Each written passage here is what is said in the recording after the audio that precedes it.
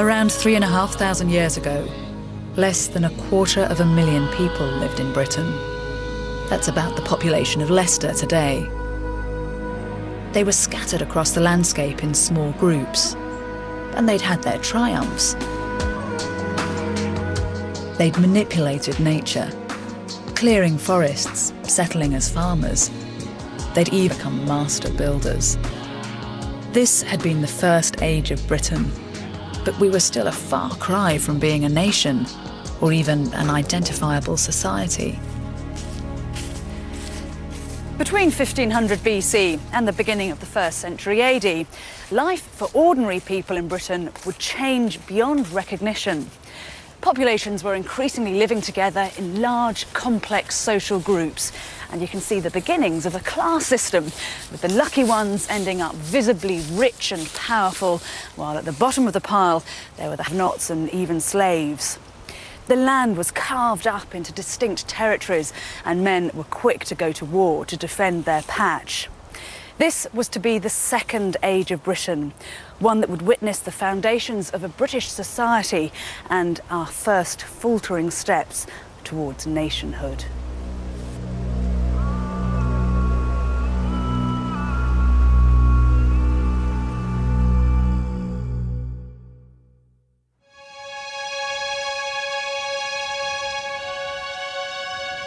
The story begins here. This is Dartmoor, over 350 square miles of deserted moorland and peat bog. But around 1500 BC, thousands of people lived here. Generations had poured blood, sweat, and tears into clearing this land of forest, and they now wanted to assert who had rights to what.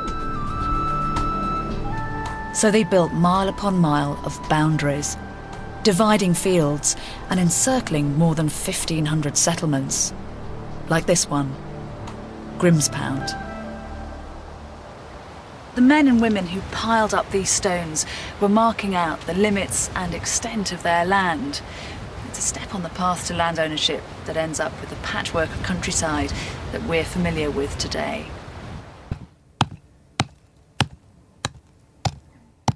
Among these new landowners were masters of a new kind of magic.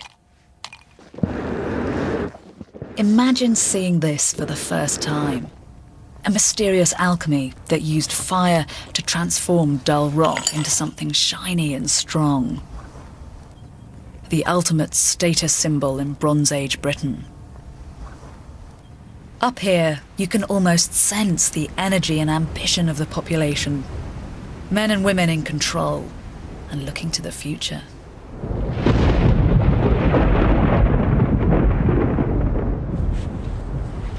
Enough prepare the people who lived here for what was to happen next. Within a few generations, the whole of Dartmoor was to be abandoned.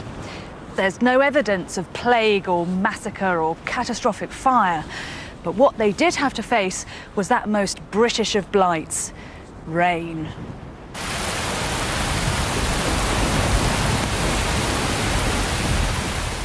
It was a deluge of epic proportions. The reason we know is down to the study of prehistoric trees. They show that something disastrous happened to the world's weather in 1159 BC. This is one of the, the specimens from Ireland that first showed the 1159 BC event. Here you've got a tree with putting on wide tree rings up until this wide ring here, which is the growth ring for 1160 BC. And then the next year, we find that it had a horrendous time. There's no summer growth, and similarly for about 18 consecutive years. 18 years took this tree from here to here. And then the next 18 years took it from here to here. It liked it here and it didn't like it here.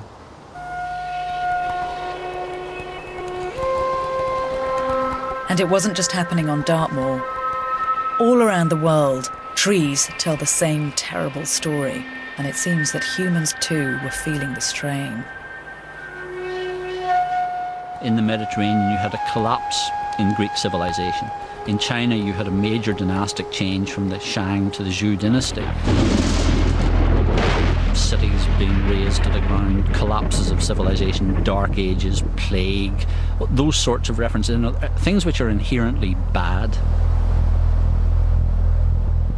At first, it was thought that some kind of super volcano had caused this global turmoil. But now it seems more likely that a comet travelling near the Earth's atmosphere in 1159 smothered the planet in a massive dust veil. It's very difficult for a modern society to really appreciate what one of these events might have been like. Because remember, people didn't store food to any extent. And the result is they didn't have any great buffer against what would happen. They would feel the effects much more immediately than we perhaps would now.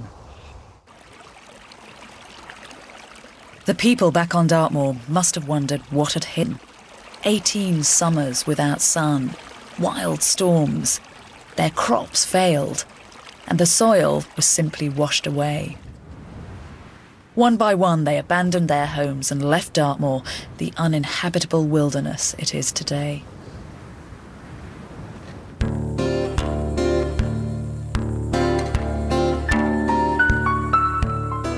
They weren't alone in the face of these disastrous conditions. In Cambridgeshire, miles of farmland were flooded. But here, the farmers found a way to embrace the waters just a few centuries earlier, they'd made sense of their world by warming the sun at monuments of stone. But now, a new cult was born, with water at its heart. Here at Flag Fen, preserved in the waterlogged ground, there's a remarkable snapshot of people's inner lives. 3,000 years ago, this is where farming and religion met face to face at the water's edge.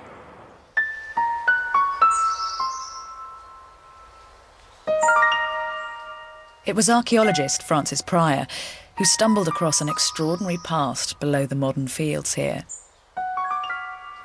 How did you discover Flag Fen? Well, actually, I was walking this dike, and uh, it was 20 years ago, and I actually caught my foot on a piece of wood.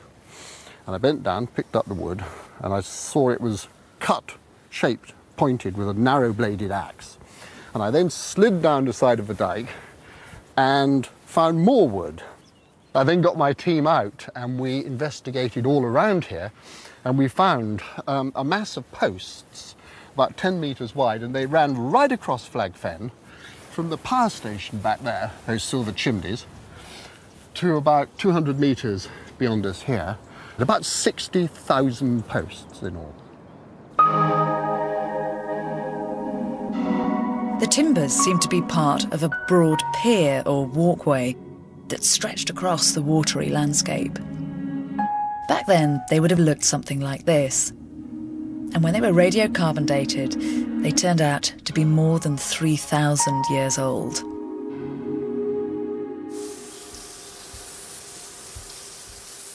A portion of them is preserved today in an environmentally controlled building.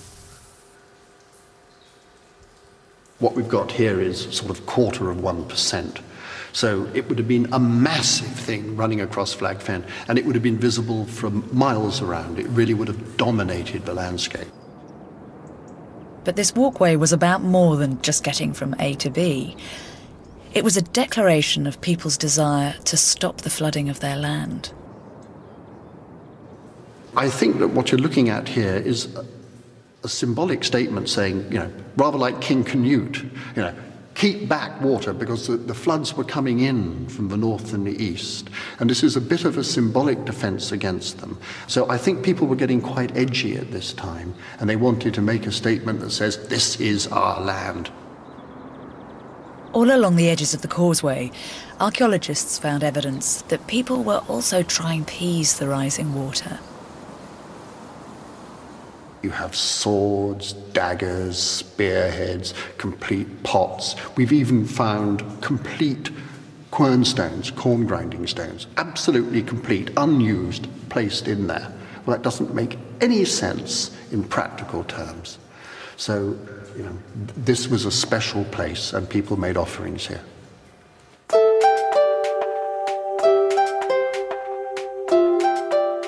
Flag Fen was the largest religious centre in Bronze Age Britain, a kind of temple drawing people for miles around. The archaeologists here found intimate personal belongings and precious metalwork, prize material possessions being used to pay homage to the gods in the water, bracelets, shears for cutting human hair, bronze cooking utensils, and the most valuable of all, swords. These late Bronze Age swords, they're uh, the, the equivalent of a cutlass or a scimitar. Why is the edge so ragged? Yeah, now that's interesting. We've looked at that under the microscope, and it looks like this sword has been deliberately smashed against something like a, a, a, brick or a stone with a sharp corner. And we found about a dozen here. Um, and very often they've actually been smashed up, which suggests to us that they're being taken out of circulation and moved on into another dimension, into another world. This religion had been born in the wake of 18 years of rain, a crisis response to the changing landscape. Nearly a thousand years later, it was a mainstream faith, bonding people together all over the country.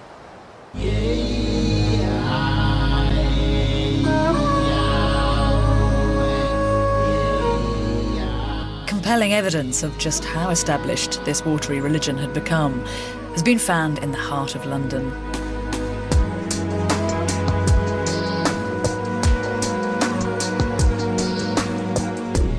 A helmet recovered from the Thames at Waterloo Bridge, dating from 150 BC.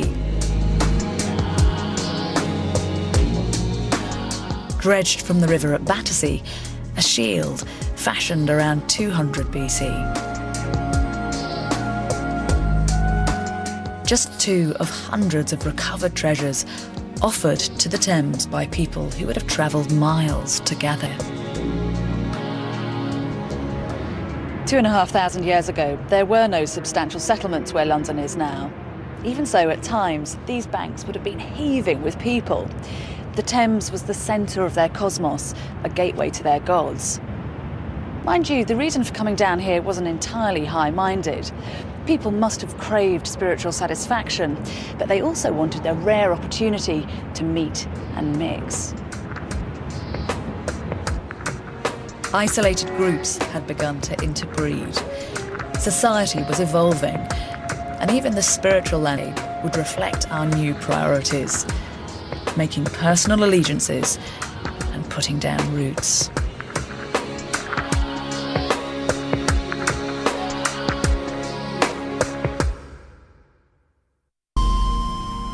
Today, most of us think of our homes as secular places. So it's quite natural to imagine that when people lived in roundhouses 3,000 years ago, pragmatism was behind their construction too. But back then, domestic design was far from just functional. In fact, it seems that when people laid out their homes, there was something sophisticated and sublime at work.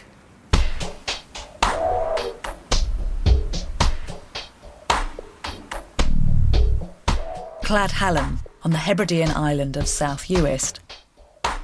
Here, a new archaeological investigation has shown just how close the gods were to the grit and grime of daily life back in the Bronze Age. What we have is a terrace, all joined together, round houses in a curving row, north to south. About seven households, all laid out in a line. Now, back in prehistory, this was actually a thriving place. The excavations here have revealed that the houses were built around a sophisticated plan that made maximum use of sunlight and shadow inside. I'm just walking in through the doorway of the middle roundhouse. It's an enormous building. It's 10 metres in diameter.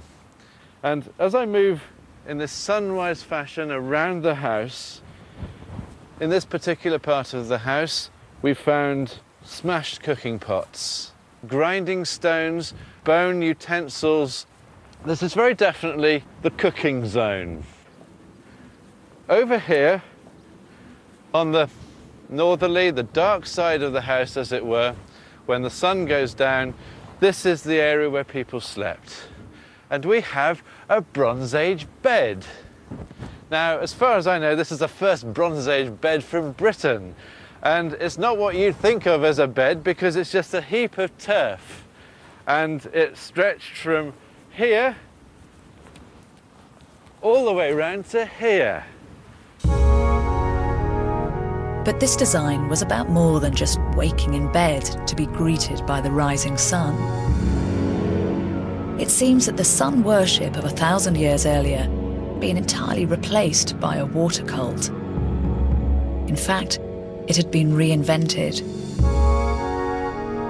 Now, instead of visiting monuments to the gods, the men and women of Cladh Hallan chose to live in them. Religion had come home, and the household itself began to take on a sacred new meaning. What we've commonly assumed is that people were turning away from ritual and becoming more pragmatic, practical farmers. What we're actually seeing is that ritual becomes focused within the house. And this is what we've been looking at, and we've seen it in extraordinary clarity here on this particular site. Each of the roundhouses had been built and used in a way that revered the circular shape of the sun and its arc from sunrise to sunset. And some of the discoveries here revealed an intensely symbolic use of space in people's homes.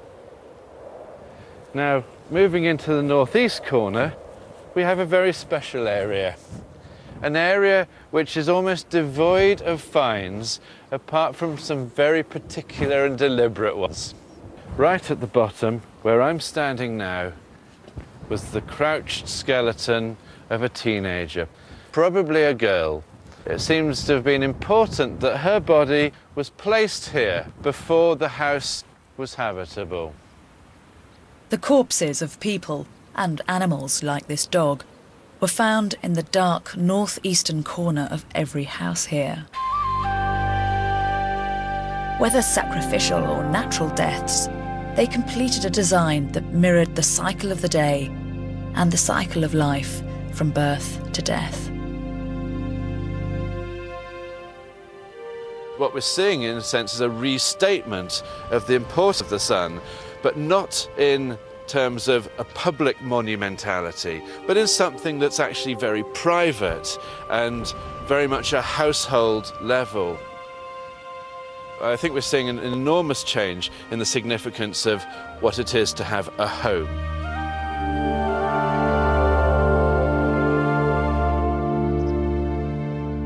The centuries passed, and all over the British Isles, we continued to invest in our home life and put down roots.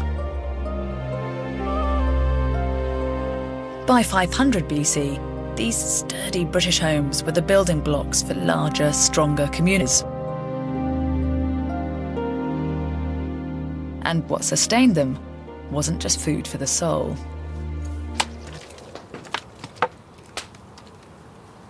The bare necessities of life back then are the focus of study at Butser Ancient Farm in Hampshire. Here, the research is based on the premise that to illuminate everyday life in the distant past, you should experience it now. The houses here are based on specific archaeological sites, and they test construction techniques and the durability of the build materials. But also, the scientists at Butser work out how people survived two and a half thousand years ago. What food they grew, how they processed and cooked it, how many it would feed.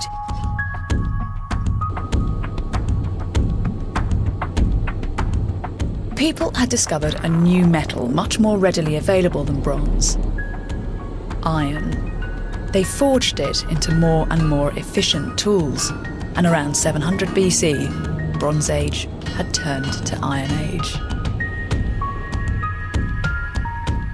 This was a massive technological leap, but it heralded an even more significant social change when an acre began to feed twice as many mouths as before.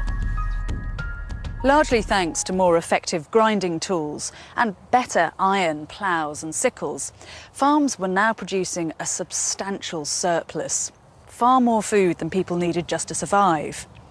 Of course, what you have to remember is that this was a world without money, so wealth from your land was something to celebrate and shout about. And we've got evidence from around 300 BC of a particular community that did just that by throwing the mother of all parties. Venue for the festivities was a small village outside what is now modern Winchester, a cluster of Iron Age houses excavated in the 1980s. Dotted about on site, archaeologists discovered a puzzling series of pits. In the Iron Age, they often would store grain in holes under the ground. In the past, people have simply assumed that when a grain storage pit stops being used for grain, storing grain, uh, it's just used as a, du- a dustbin. One of the most important developments in Iron Age archaeology has been to recognise that rubbish we find in these storage pits is extremely unusual rubbish. It's probably the end result of a ritual feast or a sacrifice. It may even itself be an offering to the gods. One pit in particular was filled with pottery, the bones of dozens of animals, and even a couple of uneaten carcasses. What you're seeing here is just a tiny fraction of what was found in this one pit. This is part of the jaw of one of the horses. The pig was laid lying on its left side in the centre of the pit. What, what animal is this? Next to the pig was the skeleton of a dog. Detailed analysis showed that the pit had been filled in on a single day. What seems to have happened is there's been a huge gathering of perhaps two, three hundred people. As part of that feast and gathering, they've slaughtered and sacrificed at least 12 cows, uh, several adult horses, um, sheep, pig, dogs, and that they've also gone out and hunted at, least one. To, if you like, throw away that amount of meat in one huge feasting event probably means you've been planning this for years in advance. You've probably got initial ceremonies, then you've got the huge centerpiece event of sacrificing the animals. And then finally, you have a huge meal.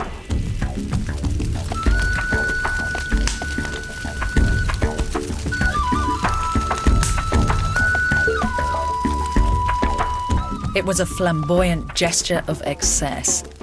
Yes, this orgy of killing was a way of thanking the gods for your surplus food. It was also about impressing the neighbours and establishing the dynamics within the group.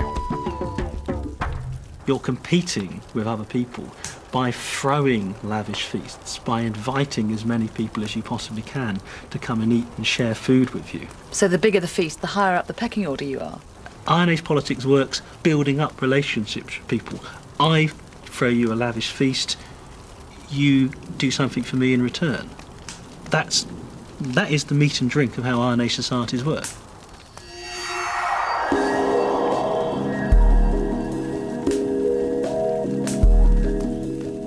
Feasts like this one were part of an irreversible trend that was going on all over Britain. Large numbers were coming together to trade, to party, to score social points, even to find husbands and wives.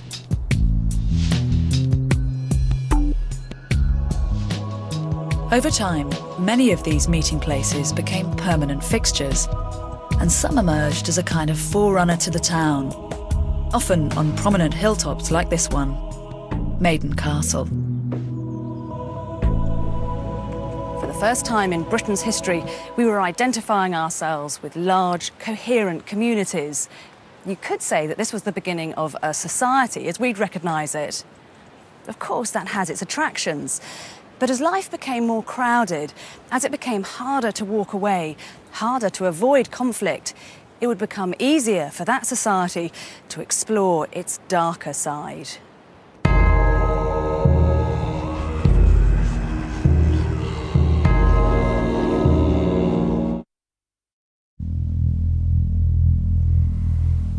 At the height of the Iron Age, British metal workers busied themselves with an alarming invention.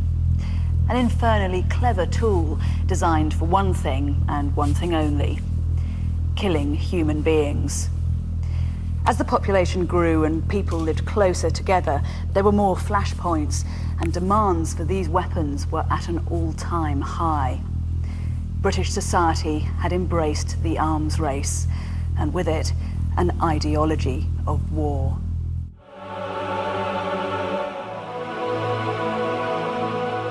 It had started with the dagger, then the rapier, then the sword. By 500 BC, the new iron swords, stronger, more flexible, and cheaper, were fast making this a dangerous world to live in.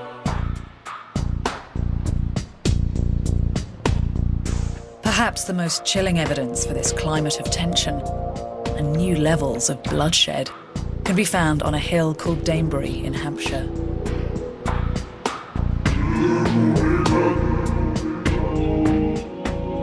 Very likely an important element of this was symbolic. A high place like this is visible for miles around, perhaps as a high place, it was in some sense closer to the gods as well. Um, it was a, a, very visual symbol could be seen from the entire district. So this will have visually expressed a sense of community as well. They also conducted their religious ceremonies, their community meeting, markets. All these kinds of functions are quite likely to have happened in high places like Danebury Hill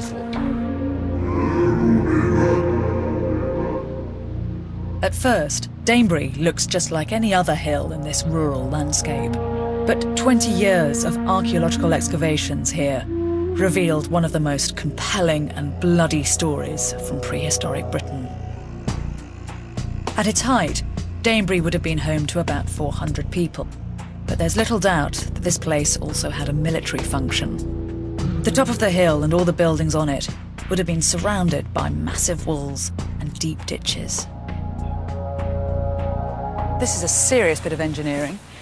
It certainly is. What we're actually walking along here, this modern roadway, marks the original line of the entry into the hill fort. And it's also the original slope of the hill. Everything we see around us here, all these great lumps and hollows, are the actual hill fort defences. These are all uh, earthworks which were constructed by the people of the time, moving tens of thousands of tons of chalk and earth. There was an outer gate here, and then as we come forward along the roadway, we are approaching the main inner gate. Just in here were very large post sockets for a great timber gate structure which went up over the top here, perhaps with some kind of defensive tower on the top of it as well. So you would have come here through the leaves of the open gate and uh, you would have then seen revealed before you the interior of the hill fort, full of storage facilities, houses around the interior of the rampart as well. In the centre, archaeologists found evidence of a kind of dress rehearsal for cosy small town life. Workshops belonging to weavers, leather and metal workers, and basket makers. Life in a place like this must have been relatively ordered and predictable. You had access to the best craftsmen in the area, and assuming the harvest had gone well, you knew there was enough grain in the storage pits to keep you and your family from starving at winter time. But all this security came at a price. Yes, you were protected by your community, but you're also expected to suffer for them and, if necessary, lay down your life. In the event of an attack on Danebury, the men that lived here would have found themselves no longer beholden just to their kin, but to the whole hill fort. And that would quite possibly mean being called to the top of the walls to repel an enemy by force. Well, imagine if you were a warrior attacking Danebury Hillfort, coming up the roadway here to attack the main gate. You would have been carrying your shield in your left arm, spear or sword in the right arm. As you go up the roadway here, your right side is exposed.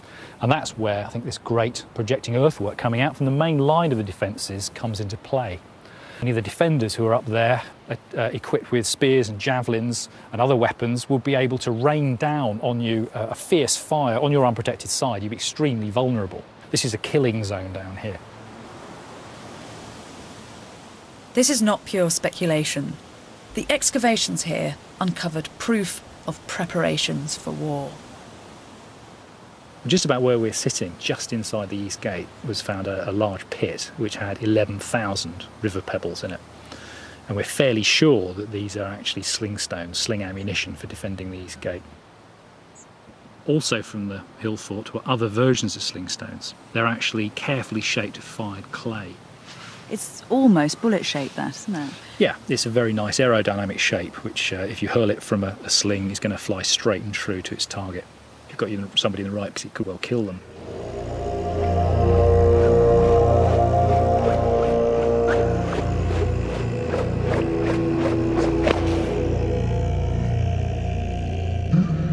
Human skeletal remains are incredibly rare in the archaeology of the Iron Age. It's thought that most people left their dead to rot in the open air, or perhaps burnt them. A minority seem to have gone in for some kind of mutilation after death, but at Danebury, among the few human bones that have been found, there is grisly evidence of violence during life. We have here part of the pelvis of one individual, and you can see here there are some massive injuries from what appears to be a sword rather than an axe or anything else. This body was hacked up, the middle part of the body was hacked out. Another uh, example is provided by this skull here. If you look at this frontal bone, here are the eye sockets, there's this puncture wound just above the point between the eyes. And this was caused by a spearhead, which as you can see has a central rib down it. And if you compare this spearhead with that wound, you can see that's what caused it. But it is actually possible that that too was post-mortem. But one other skull here, which I think um, gives us evidence for a lot of this violence actually happening to the living. This has a very uh, interesting, quite small injury on the, the skull here, which has been caused probably by a glancing blow from a, a sword. And this person evidently did survive this. It does show signs of, healing. So here we have some unambiguous evidence, I think, of um, a violent event with a weapon actually in life.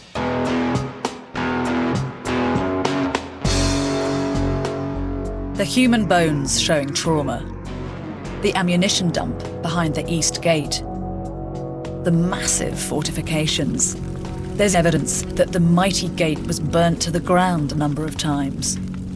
All this adds up to a society that met instability with aggression. My own view is that the, the usual state of society is probably what we think of as endemic insecurity.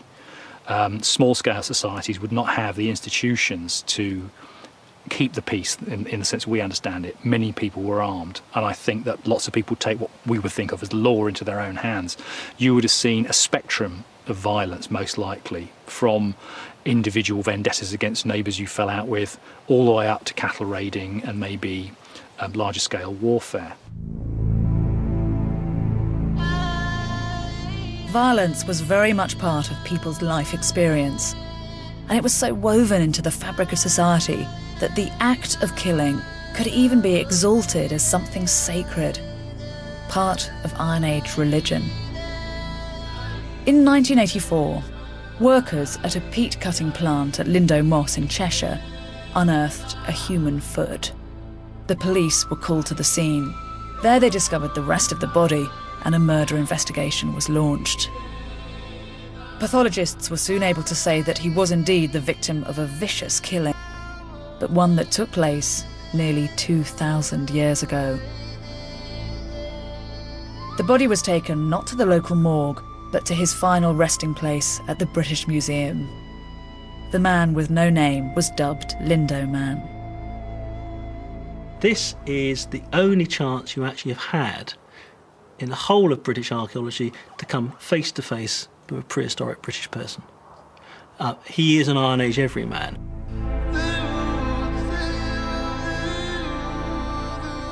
He's dark-haired, uh, neatly trimmed beard and moustache, about five foot six, well built, and between 25 and 30 when he died. A post mortem on his body gives an intimate picture of his last moments. At the edge of the wetlands, he ate a meal of bread and herbs. He would never eat again. He's led to the bog naked.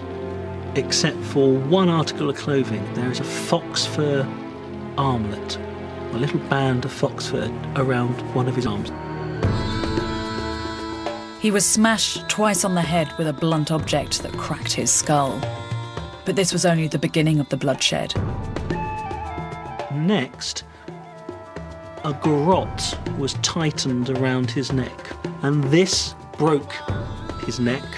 That's what killed him. And then finally, with that garrote still held tightly, his throat was cut. And at that point, because of the way the garrote is tied, blood would have actually spurted out quite dramatically as part of that. And as the last part of the rite, he's placed face down in a pool of water. But why go to such lengths to finish someone off? Things like the manner of his death you know, points not to simple execution, it points to sacrifice. It's the overkilling which shows that this man isn't a murder victim. Also, simply where he's sacrificed. If he's a criminal or even a victim of crime, why is he actually in this bog miles away from the nearest settlement you know, in an area which people at that time probably thought was perhaps magical or dangerous or mystical? And here's the ultimate offering or sacrifice of the whole person.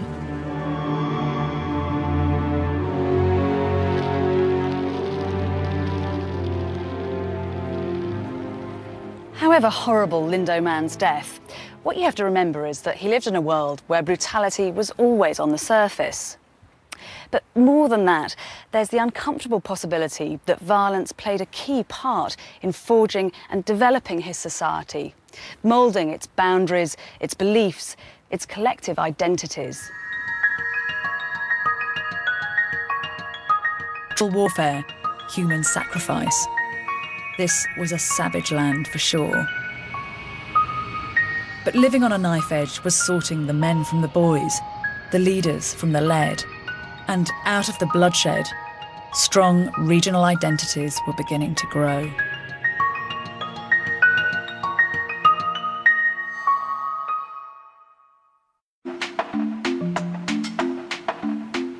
As an island nation, the British don't really have to live with border crossings in the way that our neighbours in Europe do, but it wasn't always like that. Back in history, our land was crisscrossed with frontiers between different tribal territories, and these were behind a series of developments on the road to British nationhood.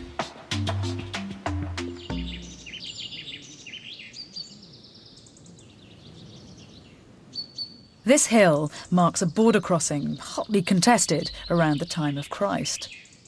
Later Roman writers named the tribes that would have squabbled over it. The area up there was held by the Dobunni tribe. Behind me, it was controlled by the Catuvellauni, and this hill and the land to the south was in the hands of the Atrebates tribe. Back then, ordinary people on the ground probably had very little sense of belonging to a British nation. But what they did have was a strong, growing tribal identity. And for the Atrebates, their territory came with something that said in no uncertain terms who they were a logo.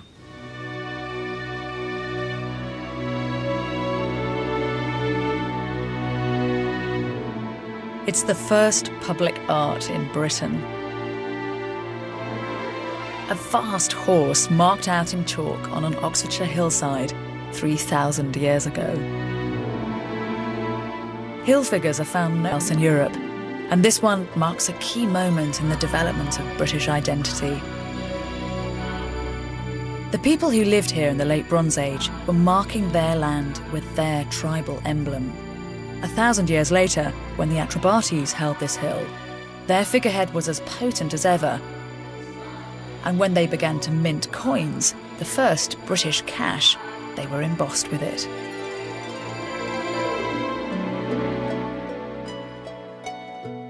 The people of the horse were projecting a strong image of their unity. But inside, tribal society was being carved up.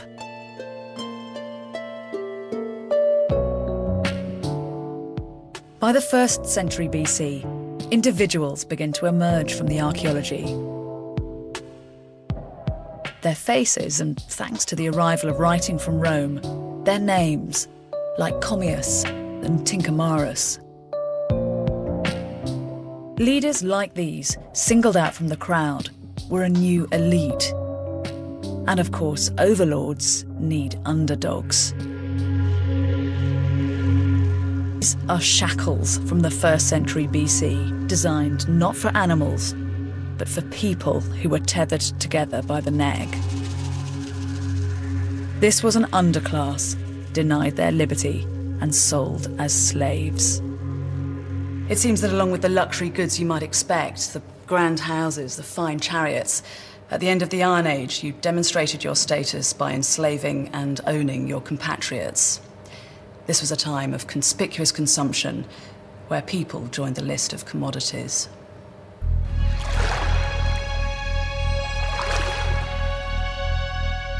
Hengistbury Head on the Solent in Dorset.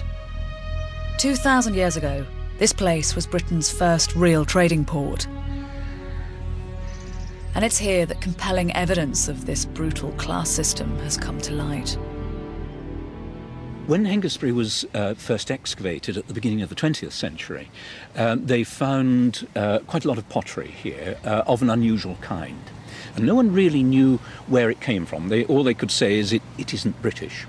Uh, and it wasn't until the 1970s, 1980s that um, archaeologists looked in more detail at the pottery. They found lumps of Roman uh, wine jars. So suddenly one realized that this wasn't just a local port um, serving the cross channel trade, it was, it was latching into a much more distant trade network. Excavators found evidence of upmarket luxury goods all over the site coloured glass, figs, spices, fine wines, exotic perfumes.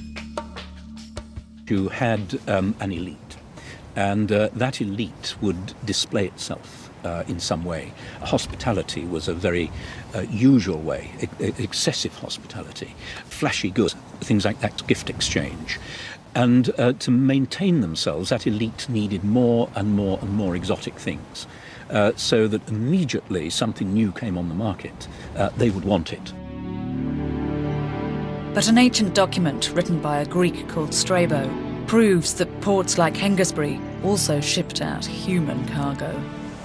Strabo lists exports from Britain, and he talks about hunting dogs, he talks about metals, uh, he talks about corn, and slaves. And slaves is the top of his list. Slaves would have been possibly the prime commodity. Um, there's one wonderful classical text talking about Gaul uh, that says these, these Gauls, these uh, Celtic barbarians in Gaul, are, are remarkable people. Uh, they'll give you a slave for an amphora of wine. So there you've got uh, an exchange mechanism. Contemporary sources say that hundreds, maybe thousands of British slaves were held in Italy at this time. Clearly, traders here had few qualms about using their countrymen and women as a cash crop. And this trade was driven by a growing awareness of the mighty empire that was now right on our doorstep. Things very fast. Um, and that period, let's say about 100 BC, probably they were aware of something quite interesting out there happening called Rome or the Roman Empire. And when Julius Caesar conquered Gaul, Rome was very much known, and people did flee from the continent and, and come to Britain and say, there's this awful chap Caesar, you know, beating us up and killing us all. So this was a time of very, very rapid change.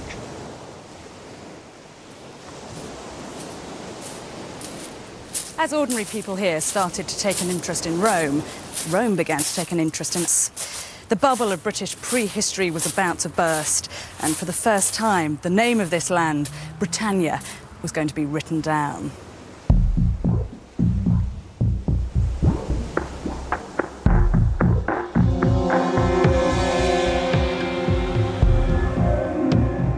During the short part of the summer that remained, I resolved to proceed to Britannia. I thought it would be of great service to me if I only entered the island, looked into the character of the people, and gained knowledge of their localities, harbours, and landing places. His name was Julius Caesar, and he was the first person to write an eyewitness account of life on British soil. But Caesar's interest in Britannia wasn't entirely anthropological.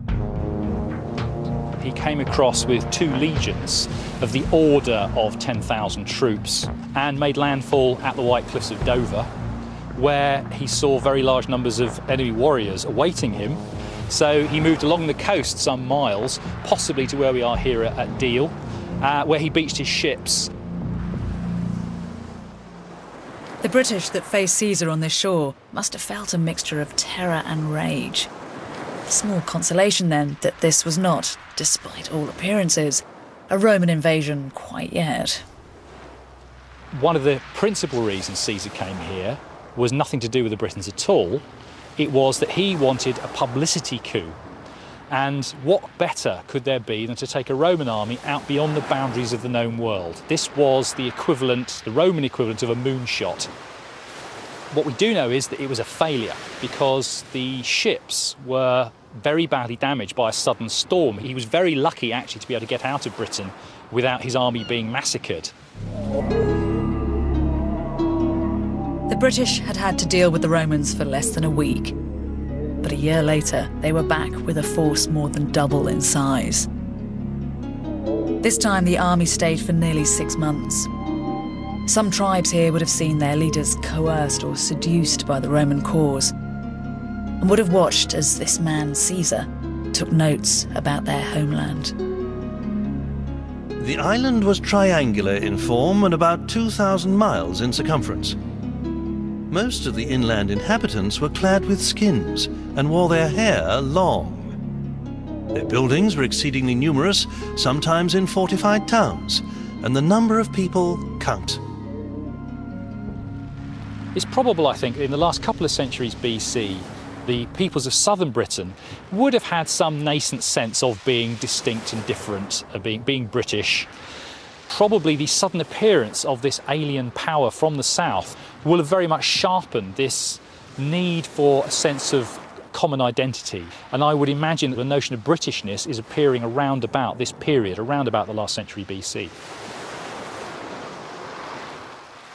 We'd come a long way from the disparate, tiny settlements of a thousand years before. But the greatest test of British mettle was just around the corner. Yes, the Romans had gone, but they'd be back. Within a century, the horizon would be bristling once again with Roman ships. And this time, the imperial juggernaut would change everyday life in Britain forever. And indeed, the Romans arrive next week at the same time. The accompanying book, Seven Ages of Britain, is in the shops and costs £3. To make an order, call 0870 1234 344 or click on to channel4.com slash shop. Up next, arguably the most memorable James Bond, Sean Connery, is the Brit who went to Hollywood.